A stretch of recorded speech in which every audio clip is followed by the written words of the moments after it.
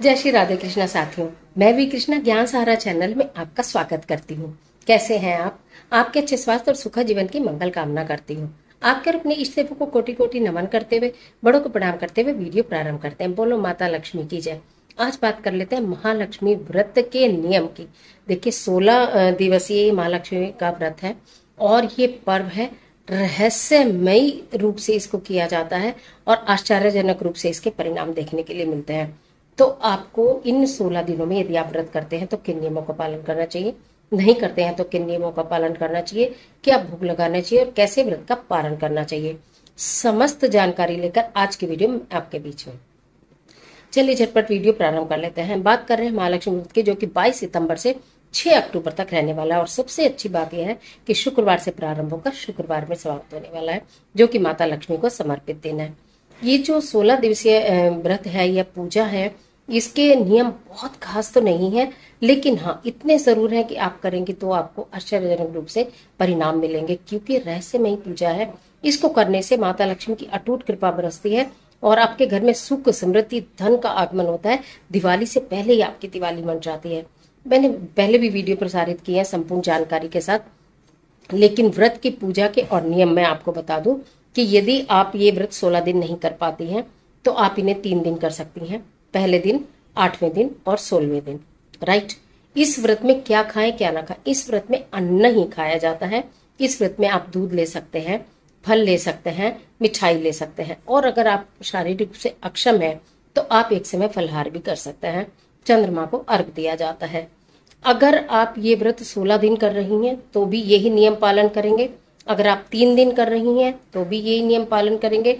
और अगर आप एक दिन, तीन दिन, सोलह दिन नहीं कर रही हैं, पहले दिन या फिर सोलहवें दिन कर रही हैं तो भी ये नियम पालन करेंगे। और अगर पहले दिन आपसे छूट गया शारीरिक कष्ट के कारण या किसी भी वजह से तो फिर आप इसमें सोलह सोलहवें दिन यानी छह अक्टूबर को जिस दिन इसका पारण है, उस दिन विधि विधान से कर लेंगी तो आपको सुख समृद्धि की प्राप्ति होगी। महालक्ष्मी अत्यंत धन प्रदान करती है, जो भी महिला इस दिन व्रत को करती है, इस महालक्ष्मी व्रत को करती है।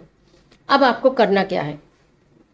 प्रातःकाल नहा धोकर स्वध्वज धारण करिए, हो सके ब्रह्म मुहूर्त में आप पूजा करिए। वैसे मैंने इसमें कलश स्थापना का विशेष महत्व है जो आपको वीडियो में पूरा का पूरा देखने के लिए मिलेगा, पूरी विधि मिलेगी। अगर आप कलश स्थापना करते हैं, कलश में माता लक्ष्मी के स्वरूप की स्थापना करते हैं उसके ऊपर श्रीफल रखते हैं तो आपके लिए उतना भी बहुत होता है।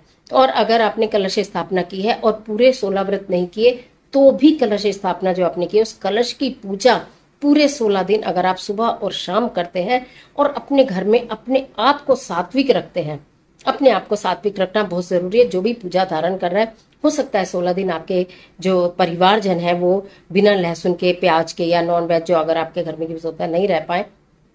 लेकिन आपको रहना होगा, आपको ये कार्य करना होगा क्योंकि आपने माता लक्ष्मी का कलश की स्थापना की है और उनकी पूजा का नियम लिया है। इस तरह से करें, सोलहवें दिन सोलह चीज़ों का दान किया जाता है। सोलह चीज़ें पूजी जाती हैं, चाहे सोलह श्रृंगार की सामग्री हो, सोलह फल हो, सोलह फूल हो, सोलह मिठाई हो, इनका आपको दान करना होता है। एक ब्राह्मणी को भोजन करा के बस और श्रृंगार की सामग्री देनी होती है। बाकी चीज़ें आपको मंदिर में या योग्य जो भी लोग हैं उनको दान में दे देनी होती है। इस प्रकार इस व्रत को आप पूर्ण कर लेते हैं। प्रतिदिन एक फल, एक फूल ज़रूर चढ़ाइए। भोग में आप हलवा बनाइए, खीर बनाइए, नारियल का भोग लगाइए, मेवा का भोग लगाइए, जो आपकी श्रद्धा है वो लगाइए। श्रद्धा से किया गया कार्य सदैव ही फलित होता है।